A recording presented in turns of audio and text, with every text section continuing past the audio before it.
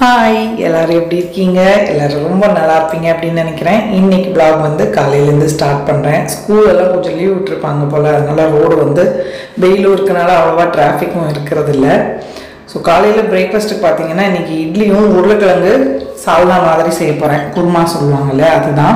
So அதுக்கு குட்டி குட்டி உருளைக்கிழங்கு இருந்துச்சு. அதனால வந்து மைக்ரோவேவில் கொஞ்சமாக தண்ணி வச்சு ஒரு நாலஞ்சு நிமிஷம் வச்சு எடுத்துட்டேன். உருளைக்கிழங்கு வெந்துருச்சு. கொஞ்சம் ஆறுனதுக்கப்புறமா தோல் உரிச்சு எடுத்துக்கலாம். இதுக்கு கொஞ்சம் மசாலா பேஸ்ட் எல்லாம் அரைக்கணும். அதுக்கு தேவையான ஐட்டம்ஸ் எல்லாம் எடுத்து வச்சுருக்கேன் பாருங்கள் ஸோ மிக்ஸி ஜாரில் கொஞ்சமாக தேங்காய் சின்ன தேங்காயோட அரை முடி அதை வந்து கட் பண்ணி சேர்த்துக்க போகிறேன் அது கூடவே கொஞ்சம் தேவையான கரம் மசாலா ஐட்டம்லாம் சேர்த்து அரைச்சிக்கலாம். ஒரு ஏழு எட்டு முந்திரி பருப்பு சேர்த்துக்கிறேன். ரெண்டு பச்சை மிளகா கொஞ்சமாக பட்டை ஏலக்காய் கிராம்பு சோம்பு நட்சத்திரப்பட்டை ஒரே ஒரு துண்டு கொஞ்சம் கல்பாசி கொஞ்சமாக ஜாதிபத்திரி. ஜாதிபத்திரி வந்து ஜஸ்ட் கிள்ளி கொஞ்சமாக தான் சேர்க்க போகிறேன் நிறைய சேர்த்தோம் அப்படின்னா ரொம்ப வாசனையாக ஆகிடும் நான் இது கூட வந்து மட்டன் மசாலாவும் சேர்க்க போகிறேன் அதனால் எல்லாமே கொஞ்சம் கொஞ்சம் தான் சேர்த்துக்கிறேன் பாருங்கள் தண்ணி சேர்த்துட்டு இது பேஸ்ட்டாக அரைச்சி எடுத்துக்கலாம். கொஞ்சமாக பொட்டுக்கடலை. முந்திரி பருப்பு நிறையா சேர்த்தனால ஒரே ஒரு டீஸ்பூன் அளவுக்கு பொட்டுக்கடலை ஒரு அஞ்சாறு புதினா இலை சேர்த்துருக்கேன். ஜிஞ்சர் கார்லிக் பேஸ்ட் ஏற்கனவே இருக்குது அதனால இஞ்சி பூண்டு இது கூட நான் அரைக்கலை. இல்லைன்னா நீங்கள் இடித்து கூட சேர்த்துக்கலாம். ஸோ மசாலா வந்து அரைச்சி எடுத்துகிட்டு வந்துட்டேன். அந்த டப்பாவையும் கொண்டு இந்த இடத்துல வச்சிடறேன். உருளைக்கிழங்கு தோல் உரிச்சிட்டு சும்மா ஒன்றும் பாதிக்கமாக ஃபஸ்ட்டு எடுத்திருக்கேன். பெரிய சைஸ் பல்லாரி வெங்காயம். அதை வந்து நீள நீளமாக கட் பண்ணி எடுத்துக்க போகிறேன் மெலிசா. அதே மாதிரி ஒரே ஒரு தக்காளி. ஒரு தக்காளி போதும் கொஞ்சம் பெரிய சைஸ் தக்காளி தான். குட்டி தக்காளியாக இருந்ததுன்னா ரெண்டு தக்காளி எடுத்துக்கோங்க. வெங்காயமே கூட சின்னதாக இருந்தால் ரெண்டு வெங்காயம் சேர்த்துக்கலாம். ஒரு ரெண்டு மூணு டேபிள் ஸ்பூன் அளவுக்கு கடாயில் எண்ணெய் சேர்த்துக்கிறேன். கருவேப்பிலை வேண்டியிருக்கு ஸோ அதையும் எடுத்துக்கலாம். நேற்று ப்ளாகில் சொல்லியிருந்தேன் பார்த்தீங்களா அரிசி பருப்பு எல்லாம் சேர்த்தே ஊற வச்சு அரைச்சிருக்கேன். அதான் இன்னைக்கு இட்லி வைக்க போகிறேன் எண்ணெய் சூடானதும் சோம்பு தாளிச்சிருக்கேன். கூடவே வெங்காயம் சேர்த்துட்டு நல்லா கண்ணாடி பதம் ஆற அளவுக்கு வதக்கிக்கணும். கொஞ்சமாக கருவேப்பிலையுமே கூட சேர்த்துருக்கேன்.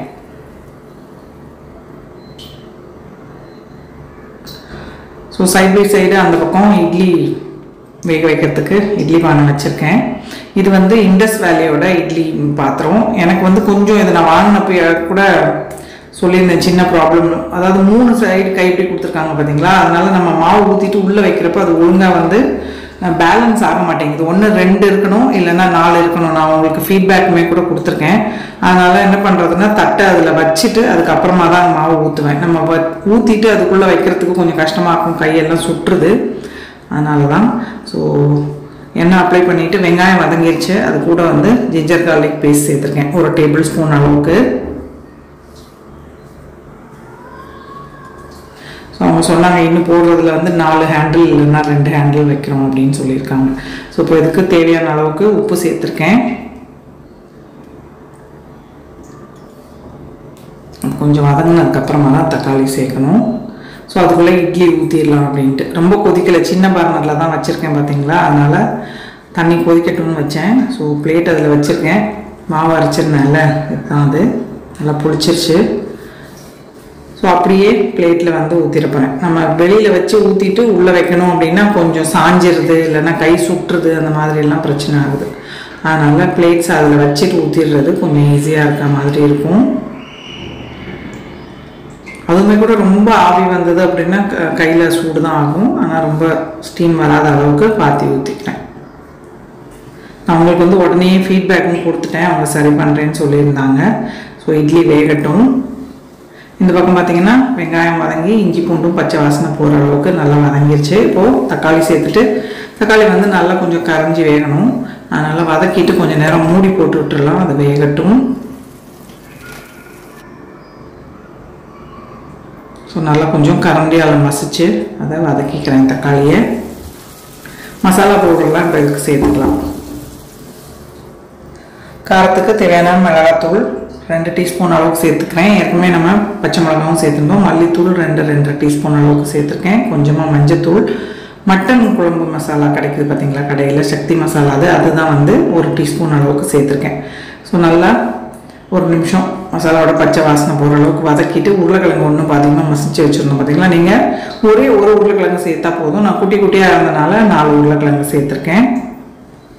கிரேவிக்கு கொஞ்சம் திக்னஸும் கொடுக்கும்.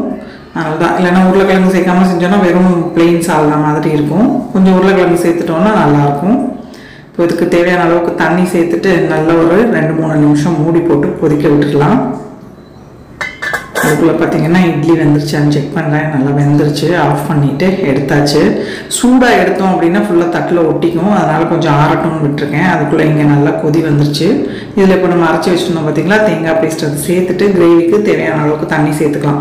பொட்டுக்கடலை முந்திரி பருப்பு எல்லாம் சேர்த்துருக்கனால திக்காக தான் இருக்கும். அதனால் கொஞ்சம் தண்ணியாக இருந்தது அப்படின்னா ஆறுனதுக்கப்புறம் நல்லாவே நமக்கு திக்கான கன்சிஸ்டன்சியில் கிடைக்கும்.